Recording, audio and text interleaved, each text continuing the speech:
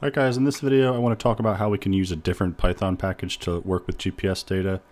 Uh, I'm following this guide here, um, and they, they're actually using a GPS, it's called GPS, that's what the module is called. So um, at the end of this file they have a script we can look at. So here it is, reading GPS data with Python code. So let's just take a look at this.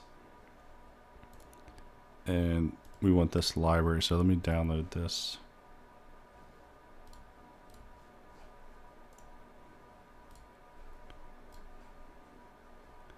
All right, and if we take a look at the library GPS, we see it's a pretty simple script, not too complicated, but there's this GPS module that we're importing. Um, so I don't think we have that on our Raspberry Pi. So if I just type Python 3 and try to import GPS, it's not going to work. Or from GPS import all, it's not going to work. So we need to use pip to install this. And I believe this is only going to work if we have GPSD already installed. I could be wrong though, but um, so let's try pip3 install GPS.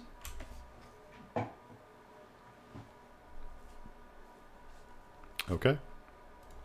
So now if we go to Python 3 import GPS, there we go. We can see that it's working. And I'm just going to try, let's just copy this file over to our Pi just like we did with the other one using SCP. And let's just try running this because I don't see anything in here that's too specific that, that would break on our Pi. Um, so let's try this.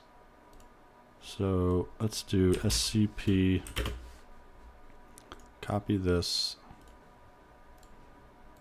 and it's pi at 192.168 colon forward slash home slash pi slash library gps dot py. This is the Raspberry Pi's password, so raspberry home slash pi. Did something wrong here. Oh, it's probably, we probably need to put quotes around this. Because you see there's there's spaces in this path, like right here. So it, it's getting confused, I think.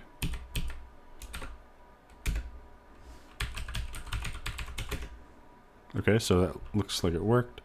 So let me go back to the Raspberry Pi and let's print all of our files and now we have library uh, GPS so we can just take a look.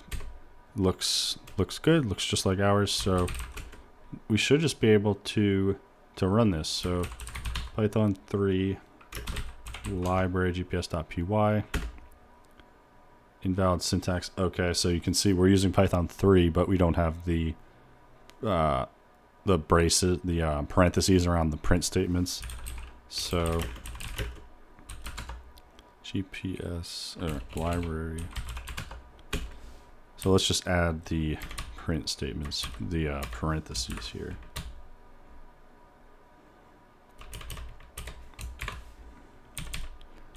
All right, so there's three occurrences of this. So